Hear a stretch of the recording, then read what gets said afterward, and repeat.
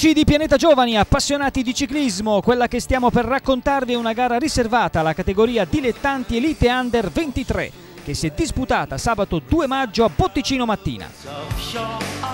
Per la precisione questa è la 53esima edizione e come potete ben immaginare è entrata a far parte del patrimonio ciclistico non solo per la provincia di Brescia ma di tutto il ciclismo dilettantistico. In verità nelle prime due edizioni, risaliamo agli anni 1957 e 1958, la manifestazione era dedicata alla categoria esordienti, ma dal 1959 sono stati appunto i dilettanti i protagonisti di questo appuntamento. La gara organizzata dal GS Botticinese, ricordiamo valida per l'assegnazione del 53 Gran Premio Industria, Commercio e Artigianato del comune di Botticino, è caratterizzata da un percorso diciamo un po' particolare, non lunghissimo, i chilometri totali da percorrere sono 121, distribuiti in 11 giri uguali. Molte curve e qualche leggero cambio di pendenza, ma sostanzialmente si può definire un tracciato veloce. Percorso interamente ricavato nel comune di Botticino, con una variante molto interessante e particolare nella parte finale. L'arrivo è situato in salita, 1000 metri, divisi diciamo da un gradino a circa 500 dallo striscione, con sensibile cambio di pendenza nei 500 metri finali. Per essere più precisi diciamo che una volta terminati gli 11 giri pianeggianti la corsa si dirige in direzione Trattorie da Eva dove i nostri atleti dovranno appunto misurarsi nel difficile tratto finale. La gara, che come al solito è stata affrontata a velocità sostenuta nel suo svolgimento, ha anche offerto spunti agonistici apprezzabili. In bella evidenza da prima i colori di casa, Delio Gallina e Cremonese Lucchini, ma presto quello che poteva essere un allungo non eccessivamente preoccupante si è trasformato in una vera e propria fuga molto pericolosa, grazie al bel colpo di mano operato dal portacolori in maglia Arvedi Lucchini in compagnia delle maglie Palazzago che hanno saputo sorprendere gli avversari della Bergamasca impegnati nel mantenere il proprio leader di giornata Stefano Locatelli coperto nella pancia del gruppone. Piccola ingenuità certo che non ha pregiudicato l'esito finale e il relativo risultato in quanto la formazione diretta da Gianluca Valotti è squadra di rango e ovviamente in grado di recuperare lo strappo, ma non è certo stata cosa semplice. Davanti si pedalava tutta e per rientrare da dietro non si sono certo risparmiati. Il vantaggio in costante oscillazione non ha mai superato il minuto primo. Grande lotta quindi a significare di quanto la conquista del 53 Gran Premio Industria, Commercio e Artigianato sia un fatto importante. L'albo d'oro di questa gara ricco di nomi prestigiosi, ne elenchiamo solo alcuni per darvi l'idea della storia che questa manifestazione negli anni ha saputo scriversi con i fatti. Nel 1987 a vincere un certo Enrico Zaina, seguito l'anno successivo da Ivan Gotti, nel 1992 Giorgio Furlan, nel 93 Gabriele Missaglia, nel 94 doppietta bresciana con Fabio Balzi e Mauro Zanetti, seguiti l'anno successivo, parliamo del 1995, da Daniele Contrini. Nelle edizioni più recenti doveroso sottolineare la bella doppia vittoria nel 2002 e nel 2003 di Daniel Kaileris, diretto proprio da quel Giorgio Furlan che fece proprio la gara nel 1992.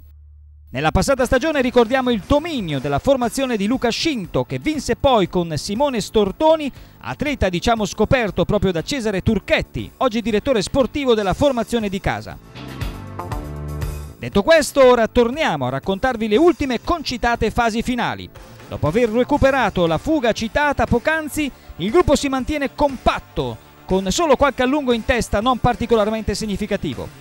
Le formazioni più accreditate alla vittoria finale, lo abbiamo sentito anche nelle brevi interviste prima della gara, sono Bergamasca e Palazzago, quindi a loro il compito di un controllo asfissiante in testa alla corsa. Ultimo chilometro e salita che incomincia a delineare l'ordine d'arrivo. Prova ad anticipare tutti Torres Agudelo Rodo in forza alla SC Cene Valle Seriana e guadagna metri preziosi. Lo agguanta ai 300 metri il portacolori della formazione di casa Delio Gallina, Tuare Vazamat, che guadagna un po' di spazio sui diretti avversari e prova ad aggiudicarsi la prova.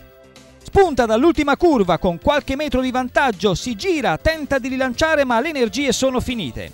Da dietro, con un cambio di ritmo formidabile, lo rimontano Daniele Ratto e Stefano Locatelli, che con un bellissimo testa a testa si confrontano nei metri finali. Eccoli! È Daniele Ratto a tagliare per primo la fettuccia davanti all'amico rivale Stefano. Grande fatica e grande gioia appunto per la formazione di Olivano Locatelli, che ha certamente trovato in ratto l'uomo di riferimento per le corse che contano. Grande stanchezza per tutti, le immagini non hanno bisogno di alcun commento. Come potete vedere in alcuni casi necessita anche una spintarella per evitare di crollare sulla linea d'arrivo. Rivediamo ancora la bella vittoria di Daniele Ratto che nell'ordine d'arrivo precede Stefano Locatelli e Luca Benedetti.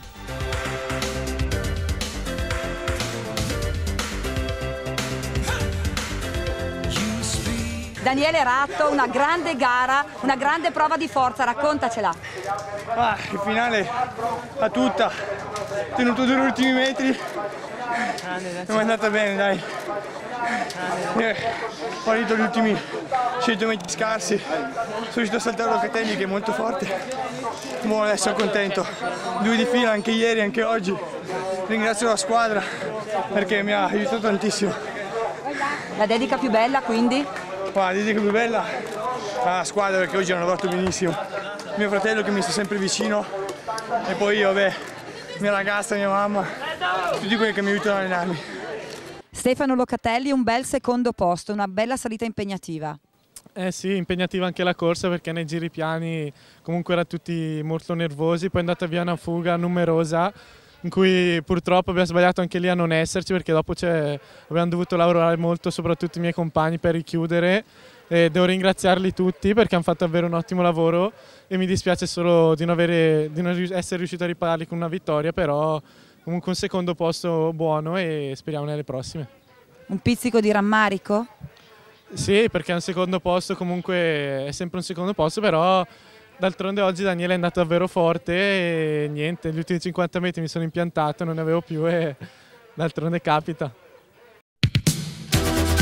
La classifica di questa 53esima edizione del Gran Premio Industria, Commercio e Artigianato. In decima posizione Pirazzi Stefano, Palazzago. Nono posto per Torres Agudelo Rodo, Valle Seriana. Ottavo Tedeschi Mirko, Feralpi. Si piazza al settimo posto Colombo Cristiano, Palazzago. Sesto Facchini Patrick, Lucchini. Giunge quinto Tuare Vasamat, Delio Gallina. Quarto posto per Corrà Paolo, Bibanese. Terzo Benedetti Luca. Cremonese. Secondo gradino del podio per Locatelli Stefano Bergamasca e complimenti al vincitore Ratto Daniele Palazzago.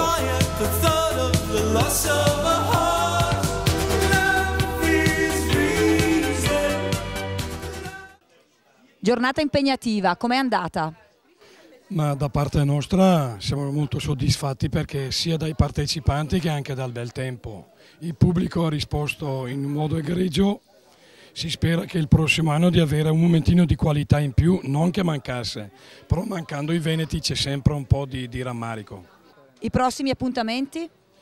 Ma noi pensiamo di metterla in calendario ancora il prossimo anno perché ogni anno sa con le difficoltà che ci sono, però bene o male ogni anno diciamo sempre che è l'ultimo, speriamo che sia sempre l'ultimo avanti così.